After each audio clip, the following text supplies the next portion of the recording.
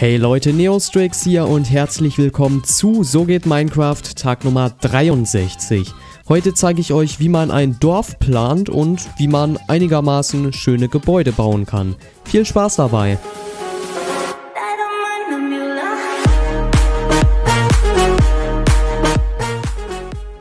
Ja, bei so einem Dorf, da kann man schon einiges falsch machen, wenn man einfach so drauf losbaut. Da gibt es nämlich einige Dinge, die man beachten sollte. Man kann direkt loslegen, eins zu bauen, einfach so, aber dann kann es dazu kommen, dass einige Sachen nicht so laufen, wie es sein sollte. Und da ist das Problem einfach, dass man sich teilweise relativ schnell übernimmt. Ist mir auch schon oft genug passiert. Und eine Sache, um das zu verhindern, ist sehr einfach. Und zwar sollte man einfach im Vorhinaus planen, wo genau man das Dorf hinstellt und welche Gebäude man bauen möchte. Und ich habe mir überlegt, der Plan, ein Dorf zu bauen, ist ja schon relativ lange bei mir hier in dem Projekt präsent. Zwar nicht immer erwähnt, aber ich hatte es schon die ganze Zeit vor und jetzt ist es endlich mal soweit. Und zwar hatte ich schon die ganze Zeit mir überlegt, ein Dorf hier hinten in diesen Waldbereich zu bauen mit Kirche und allem drum und dran und zwar hatte ich mir folgendes überlegt. Also erstmal denkt man sich, welche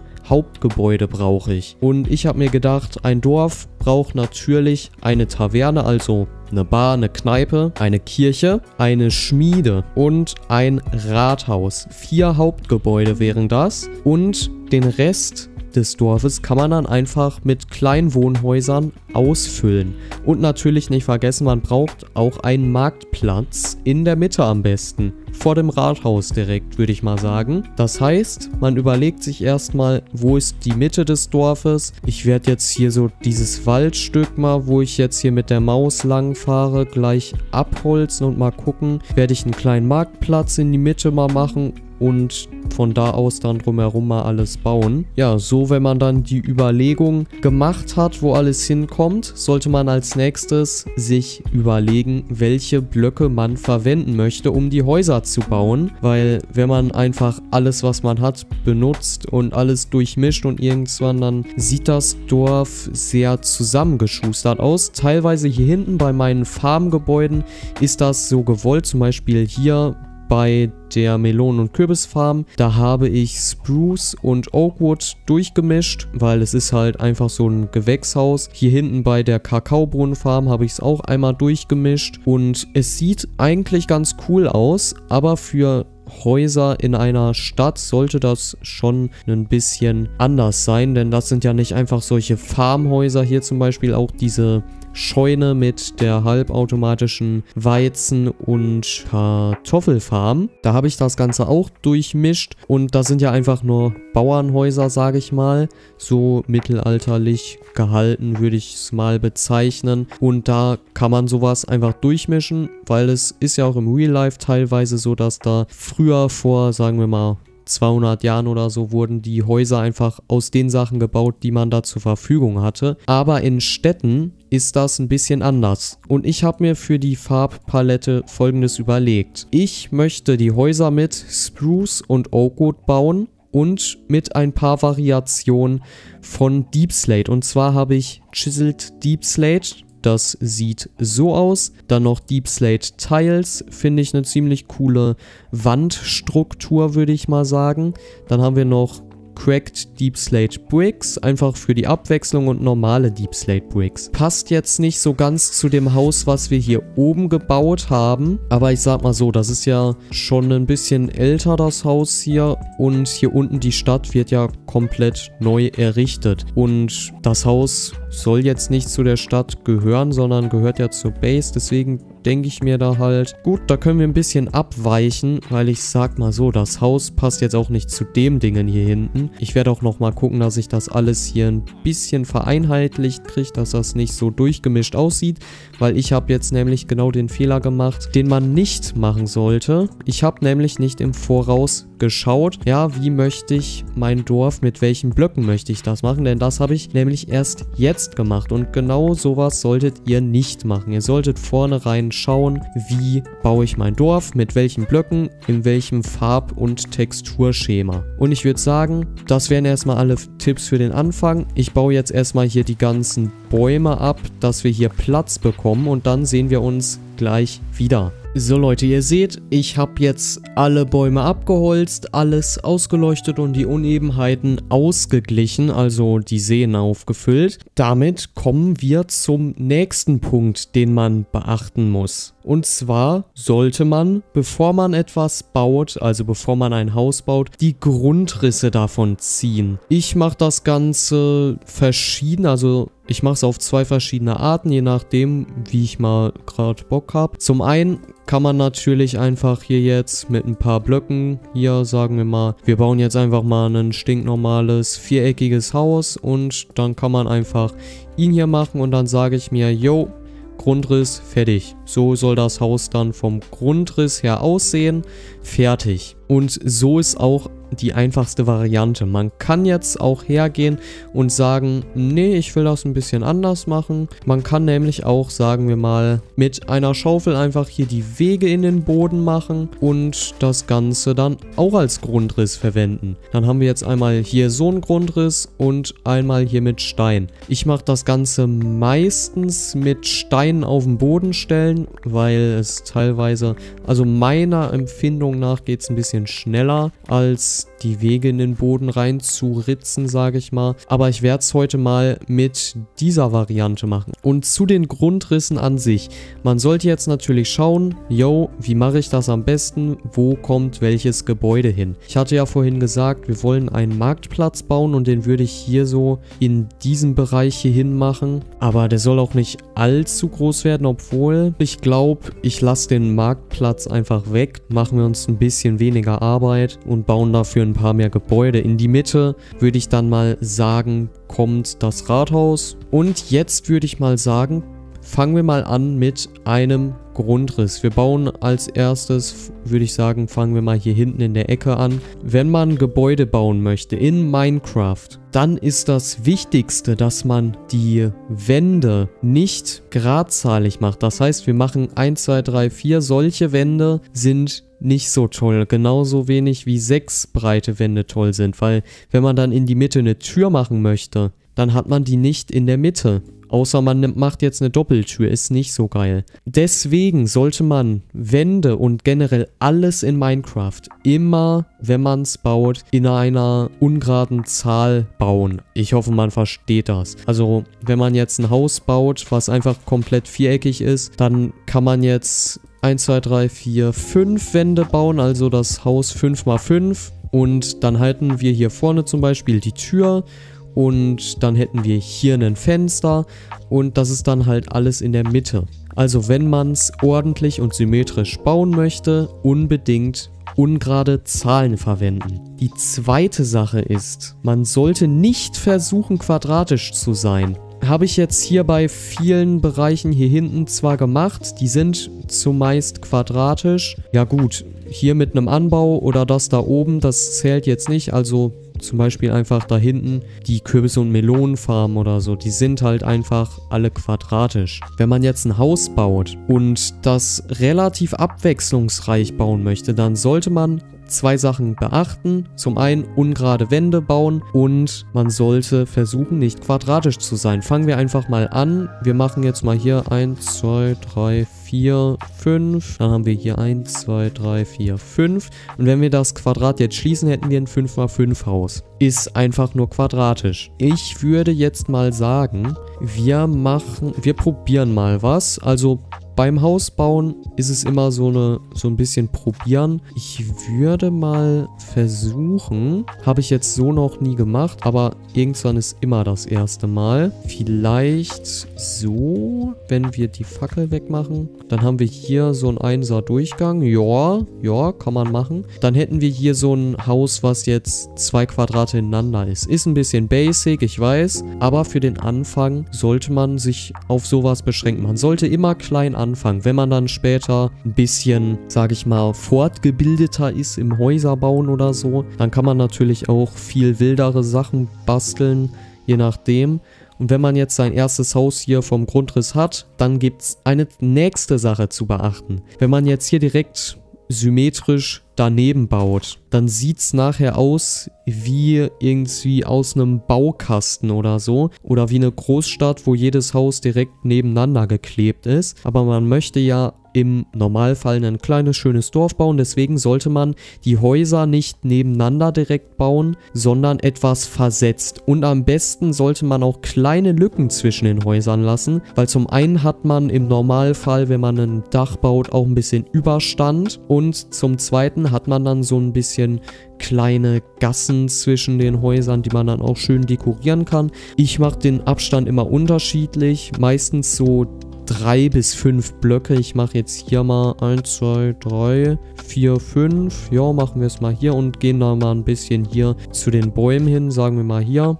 Genau, das sollte passen. Dann machen wir jetzt hier mal ein bisschen ein ausgefalleneres Muster probiere ich mal. Also man wird in Minecraft nicht um eckige Häuser drumherum kommen. Das sollte euch klar sein. Aber man sollte möglichst versuchen, nicht immer alles viereckig zu bauen. Also so eine Form hier zum Beispiel ist jetzt auch drei Quadrate einfach aneinander. Aber es ist jetzt nicht normal viereckig, sondern so ein bisschen diagonal. Und bei euren Grundrüssen müsst ihr dann einfach bisschen schauen, was findet ihr am besten, was findet ihr cool, was findet ihr schön vom Design her. Und ich finde die beiden Formen jetzt eigentlich ganz gut. Und der nächste Schritt wäre jetzt erstmal, ich baue jetzt mal ein Dorf äh, Quatsch. Wir, ja klar, wir bauen ein Dorf, aber ich baue jetzt erstmal ein bisschen vor. Ich würde sagen, wir nehmen als Eckpfeiler normal Spruce Wood. Machen wir erstmal hier die Ecken aus normalen Spruce äh, Stämmen, würde ich mal sagen und die Wände des Erdgeschosses aus den Deep Slate Varianten. Und ich würde jetzt erstmal die Wände drei Blöcke hoch machen und ja, machen wir hier vorne die Eingangstür. Dann ersetzen wir den Block mal eben durch den hier. Dann können wir hier gleich eine Tür noch drauf platzieren. Und jetzt gilt es erstmal, sagen wir mal eins, zwei noch hier oben drauf, dass wir hier schon mal eine Höhenbegrenzung haben. Wir wollen die Wände ja drei hoch machen. Zwei ist ein bisschen zu wenig. Da stößt man sich fast die Birne. Deswegen drei ist eigentlich so das Optimum. Vielleicht auch fünf bei größeren Gebäuden und da wird es auch schon Nacht. Ich glaube, ich gehe jetzt mal eben schlafen und dann geht sofort weiter mit dem Haus. Dir gefällt das Video soweit? Gut, dann lass doch gerne einen Daumen nach oben da. Freue ich mich sehr drüber. Und jetzt geht's auch schon weiter mit dem Video. So, da sind wir wieder. Neuer Tag, neues Glück. Wie schon gesagt, wir werden jetzt einmal hier das kleine Haus vorbauen. Deswegen fangt am besten an, erst mit Kleinhäusern, weil wenn ihr eure Palette an Blöcken ausgesucht habt, die ihr benutzen möchtet, um die Häuser zu bauen und euch dann während des Baus einer riesigen Kirche auffällt, hm, irgendwie gefallen mir die Blöcke doch nicht so, dann habt ihr den Vorteil, wenn ihr ein kleines Haus gebaut habt, dann könnt ihr das relativ schnell wieder einreißen und habt keine große Zeit verschwendet. Wenn ihr jetzt eine riesen Kirche schon halb fertig gebaut habt und 200 Blöcke verbaut habt, dann dauert das natürlich ein bisschen länger und ihr habt Zeit verloren. Deswegen erstmal klein anfangen. Und eine sehr wichtige Sache jetzt bei den Häusern wenn ihr die baut. Versucht immer irgendwie 3D-Strukturen und Muster in Wände, Böden und auch Dächer reinzubekommen. Einen sehr coolen Effekt, den man machen kann, ist auch das einfachste. Einfach wenn man Wände baut, immer mal verschiedene Blöcke immer abwechselnd bauen und ein bisschen versetzt auch. Jetzt habe ich hier zum Beispiel normale Bricks verwendet, dann hier einmal einen Chiseled äh, Deep Slate und hier einmal einen zerbrochenen Stein. Dann machen wir hier mal diagonal ein und hier zwei Tiles und jetzt haben wir schon hier keine stinknormale, sagen wir mal, Deep Slate Bricks Wand einfach. Bauen wir mal eben hier vor. Also wenn wir es so haben, sieht es relativ eintönig aus und wenn wir ein bisschen unter den Blöcken mischen, dann haben wir schon mal ein kleines Muster und eine Verschiedenheit hier in den Blöcken, die relativ cool ist und was sehr einfach zu bauen ist. Und hier bei den Wänden, gut, hier kann man jetzt nicht viel machen, außer vielleicht, sagen wir mal, wir mischen jetzt mal hier ein bisschen die Blöcke. Hier machen wir nochmal einen normalen Brick, dann hier zwei Deep Slate Tiles drauf. Ja, sieht auch cool aus. Und jetzt schaut euch am besten, macht es am besten so, dass wir, dass kein System wirklich zwischendrin zu erkennen ist, sondern dass es wirklich einfach random gebaut ist. Jetzt müssen wir mal, doch, das passt. Ja, und wenn ihr hier am Mischen seid, schaut, dass ihr nicht große Flecken nebeneinander baut. Obwohl es kommt drauf an, wie ihr das Ganze baut, weil wenn ihr die Wände so verschieden baut, dass ihr verschiedene Flecken jetzt von etwas größeren Blockansammlungen habt, dann sieht es wahrscheinlich bei riesigen Wänden cool aus und bei kleinen Wänden ist eben das Wichtigste, dass man jetzt nicht die eine Hälfte komplett mit Deep Slate hier gecrackten Blöcken baut, was ich mir auch als Faustregel nehme, immer weniger gecrackte Blöcke benutzen als normale. Ist ein bisschen cooler, weil dann hat man nicht so viele zerstörte Blöcke und mehr normale. So Leute, ich habe jetzt einmal hier die Wände fertig gebaut. Warum ich jetzt in der Mitte immer Löcher gelassen habe, ist relativ einfach, denn wir können natürlich jetzt hier Fenster reinsetzen. Wir können normale Glasscheiben benutzen, finde ich bei so normalen Dorf- Häusern jetzt nicht so passend, wenn die im Mittelalterstil sind, weil damals hatte man, hatten die ärmeren Leute, sage ich mal, nicht standardmäßig Glasscheiben schon als Fenster und die hatten eher so Holzfensterläden äh, oder so. Keine Ahnung, schwer zu beschreiben, aber ich mach's meistens so mit Holzzäunen. Hier zum Beispiel mit Spruce, das passt ganz gut auch zu den äh, Holzstämmen außen. Was auch gehen würde, wäre Oak, aber das könnte ein bisschen zu hell sein, deswegen normal Spruce. Und wir müssen jetzt einmal noch den Boden hier rausheben, weil wir wollen ja keinen normalen Grasboden haben. Das sähe ein bisschen blöd aus, sondern wir wollen schon einen, ja super, eine Rakete erstmal verschwendet, aber egal. Wir wollen ja einen schönen Boden haben. Da habe ich mir folgendes gedacht. Wir könnten jetzt zum einen hier normales Spruce-Holz benutzen, was wir dann hier einfach reinklatschen. Ist jetzt aber ein bisschen eintönig. Ist zwar passend auch, aber wir können natürlich auch ein bisschen mischen. Sagen wir mal, wir nehmen jetzt Oak Planks. Wir wollen ja sowieso das Obergeschoss mit Oak bauen. Ein bisschen. Da können wir jetzt hier einfach ein paar Blöcke entfernen und setzen hier ein bisschen Oak dann dafür ein. Und jetzt haben wir hier ein bisschen Struktur drin. Ist jetzt keine 3D-Struktur, sondern eher so ein Muster, aber ist jetzt nicht schlecht. Und hier beim Außenblock, wo die Tür drauf kommt, da würde ich immer einen Steinblock nehmen von der Wand her und die Tür einmal ran, fertig, ist schon mal das Erdgeschoss. Um jetzt auch Struktur reinzubringen, könnte man auch hier oben zum Beispiel eine Treppe machen. Platzieren wir ihn einmal hier drüber und fertig ist. Jetzt haben wir hier noch ein bisschen mehr Tiefe. Und nicht vergessen bei euren Häusern, am besten auch sofort ausleuchten, weil sonst spawnt hier vielleicht etwas drin. Und ich muss sagen, das sieht auch schon mal ziemlich gut aus. Und ich würde sagen, das Obergeschoss mache ich einmal off-cam und die restlichen, sage ich mal, Grundrisse werde ich auch gleich noch hier off-cam einmal hinzaubern. So Leute, ein bisschen Zeit ist vergangen und ihr seht, das Haus ist fertig. Ich habe auch zwischendrin noch ein bisschen mehr Grundrisse reingemacht. Den Rest werde ich wahrscheinlich zwischen der Folge jetzt und der nächsten Folge machen, weil das dauert echt ein bisschen hier das Ganze zu machen und ich wollte die Folge heute noch fertig aufgenommen bekommen und ein bisschen Zeit ist jetzt schon vergangen, wird ein bisschen knapp heute noch, aber ich zeige euch jetzt mal eben das Haus ein bisschen. Zum einen, ich habe hier mal alle Materialien erstmal rausgeschmissen, dass ich wieder ein bisschen Platz im Inventar habe und ihr seht, ich habe an die Außen Balken. Also hier dieser Spruce-Balken und dieser Spruce-Balken, die hatten wir eben. Ich habe nochmal welche dran gebaut, damit da dann Zäune als Stützen drauf können. Ich würde mal eben in den Spectator-Modus gehen, dass wir uns das ein bisschen genauer ansehen können. Also im Endeffekt habe ich als erstes mal hier ein bisschen höher gebaut und geschaut,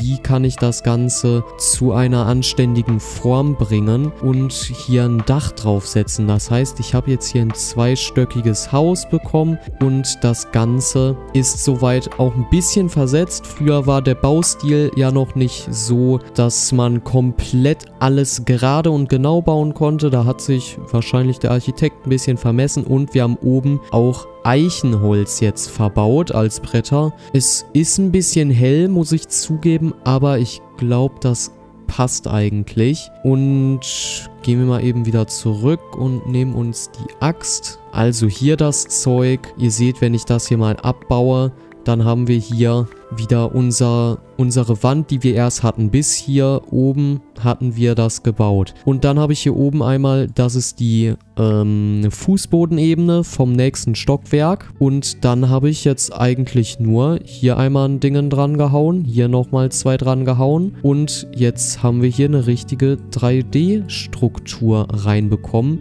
Nur mit diesem Stil. Und ich muss sagen, ich habe den Stil auch schon in Tektopia benutzt, aber er gefällt mir einfach super. Und jetzt hier vom Innenraum aus ist natürlich einmal auch ausgeleuchtet mit Laternen und ja, Einrichtung fehlt jetzt noch, aber erstmal das Haus fertig. Jetzt haben wir hier nämlich die Fenster noch drinne. Schön hier einmal rundherum können wir durchgucken. Dann haben wir hier, fängt das Dach an. Seht ihr, hier habe ich auch äh, Polish Deep Slate noch benutzt und noch eine Blockart hinzugefügt zu der Farbpalette. Aber jetzt haben wir hier in den Ecken noch zwei Stämme und hier dann einmal so noch einen Dachboden. Einen etwas größeren Raum als hier unten auch, weil ich bin mit dem Überstand hier direkt einen Block nach außen gegangen und hier seht ihr mit dieser Ecke, die ich noch dran gehangen habe, bin ich auch hier oben drauf gegangen. Und ich habe eine Regel gebrochen. Klar, hier oben die Wand ist vier Blöcke breit, aber es sieht jetzt gut aus. Solange es gut aussieht,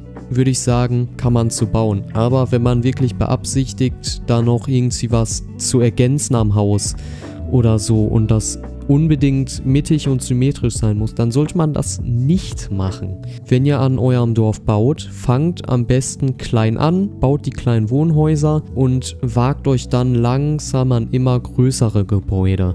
Und damit bedanke ich mich auch schon herzlich für das aufmerksame Zuschauen, Leute. Und im Abspann verlinke ich euch jetzt noch einmal die ganze Playlist zum Projekt Tektopia. Ist ein sehr cooles Projekt, da habe ich, da kann man auch einiges daran lernen, wie man ein Dorf bauen kann, wie man das schön designt, wie man eine gute Struktur ins Dorf bekommt und so weiter und so fort. War ein kleines Mod-Projekt. Ja, und damit würde ich sagen, wir sehen uns im nächsten Video wieder. Macht's gut, bis dahin und ciao, Leute.